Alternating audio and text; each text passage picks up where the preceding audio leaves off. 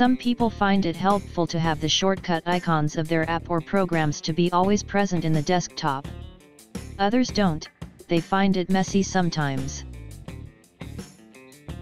Actually, if you prefer to have the icons be there, you can arrange them to be viewed either large, medium, small. You can also auto-arrange them or align to grid.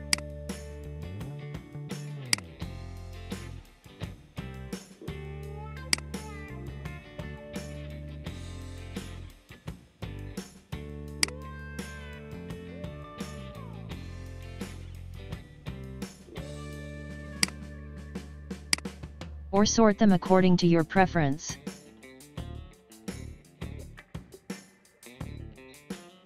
If you don't want the icons to be shown on your desktop, instead of deleting them, you can hide them all as shown.